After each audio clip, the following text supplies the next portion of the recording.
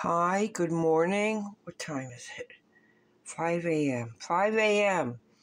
I'm always up early. So, anyway, I got this yesterday at my local health food store. It checks all the boxes organic, cold pressed,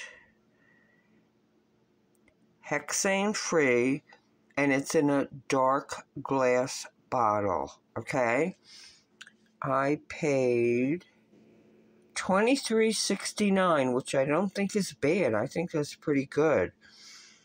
And I got a little frankincense oil for seven forty nine. Organic frankincense. So I'll do more about this coming up. Um, I had another blessing yesterday.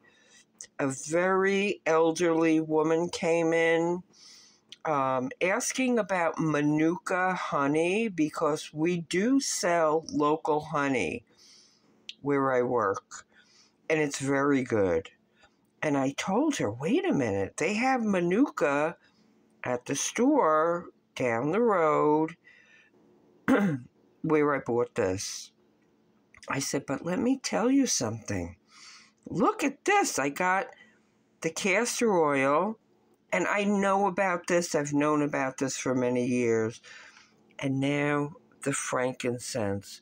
So I anointed her. She was so fabulous. She was so blessed. And that's all I'm going to say right now. So have a great day, okay? I'll catch you next time.